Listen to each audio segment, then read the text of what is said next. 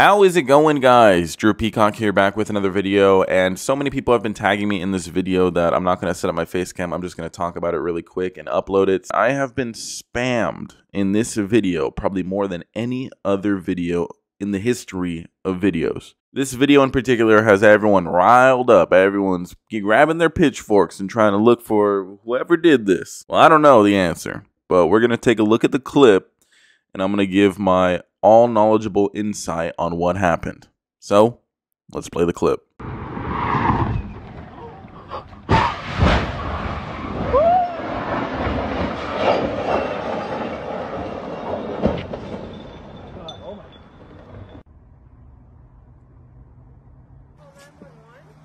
No, I don't think so.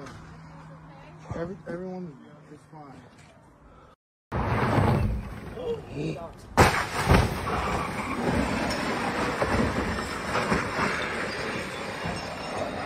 Well, as you saw, a Tesla Model S decided that Earth was a peasant planet and decided to try to go join his roadster brother in space. Homeboy legit full sent his Tesla full of people for a multi second zero gravity experience. I mean, flying through the air, floating in your seats, shit in your pants and all, with a stray cat Homeboy was wildin'. Well, it didn't end up so well.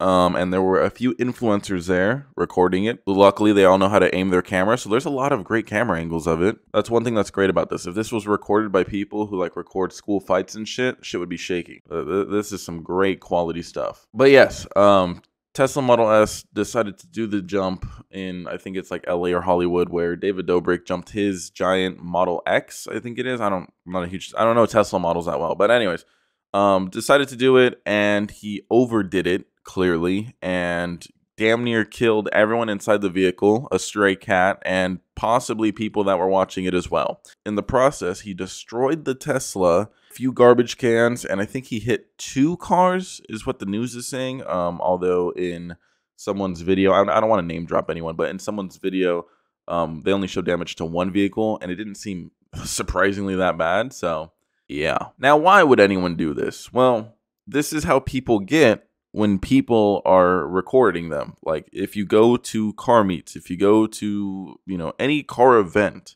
whenever somebody has a camera pointed at them and they're in a car, they're either A going to rev their car, B, going to do something stupid to their car, like a burnout or a donut or something, or C, they're going to be chill and do nothing. It's usually never the last one. People, when they have cameras on them, and especially if they're around large influencers, they need to impress. They have this need. They, they have this this need to to itch and to like impress and to like you know be be the the cool guy. I feel, and it happens. I mean, you can't say it doesn't if you were hanging out with larger people, would you not want to, you know, impress them and, you know, try to fit in? Now, going beyond um, the footage, supposedly this is a rented Tesla. So someone's not getting their car back, it seems. And that sucks. Like, I don't even know if they're like, this doesn't even make any sense. This whole story doesn't make any sense. Like all over social media, especially since I'm in LA, everyone is just like on the hunt for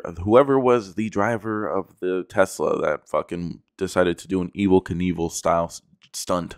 And in the video I watched, um, he claims that it was a random dude, which I mean isn't unbelievable. And even if it wasn't like a random dude and they did introduce themselves, like I meet a lot of people at car meets and I don't remember their names and stuff. So there, there's like not much really he can do. I don't think that he was hiding anyone unless it was one of his homies, but I don't think so. I don't, I, I don't think they're that stupid to do that and like hide someone, but I don't know. But yeah, long story short, four random dudes were in a Tesla. They found a stray cat. They brought the stray cat and wanted to take him to Mars too. Um, and they did this dangerous stunt, nearly killing themselves, the cat, anyone who was watching, whether they would have overjumped, underjumped, accidentally bailed at the last second, you know, flipped the car, anything. They could have killed.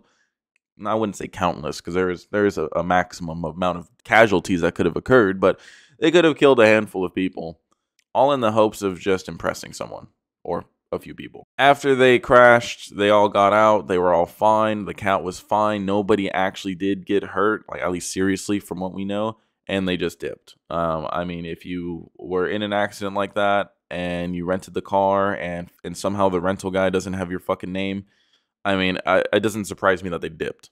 I don't know how that even happens. When you rent a car, you have to fill out paperwork and shit. So I have no idea how they rented a car and didn't leave their name or anything. They left an alias, you know. They said I'm Batman and just fucking dipped, or they they, they used um McLovin's name or something. But yeah, um, I think that's a lesson learned to whoever rented that shit. But at the end of the day, this should be a lesson learned to all of you guys. I don't think you guys are that stupid. I mean, obviously not. You're subscribed to my channel, right? But uh, I don't think you guys are that dumb. You guys don't seem like the type of people to uh, want to risk killing people and destroying your property at the same time. So, good job for that. But maybe also influencers should maybe like, you know, talk people down from doing stupid shit just for the camera. Um, like I said, I wasn't there in the video. He says the guy just like showed him the spot, went down the hill, and did it with no test jump, like you know, just as if he's done it a million times. And I get that. If that's truly what happened, there is nothing that he could have done. But at some point, someone should have said, "Hey, there's a lot of uh, cars on the other side. It's pretty fucking sketch." Just imagine if he wouldn't have flew straight. Imagine if he would have accidentally went at a, a bit of an angle or something. Like it could have been so much worse. But luckily, it wasn't. This just in. Uh, I think someone turned themselves in for it, it looks like. Said it was a TikTok user, which, I mean, isn't everyone technically a TikTok user nowadays? So it's like TikTok's a drug and shit. They don't show his face or anything. I want to see this schmuck. But it looks like they caught someone who wanted to say that they did it. So cool. In the article, they claim that he might have been under the influence of marijuana edibles. Bro was literally so high he was flying in a Tesla. What a legend. They're only offering a thousand dollar reward. That ain't gonna work on an influencer who has millions of dollars. It's like shooting Bill Gates a dollar and saying, Hey man, can you tell me the secret to life or something? Like ain't gonna work.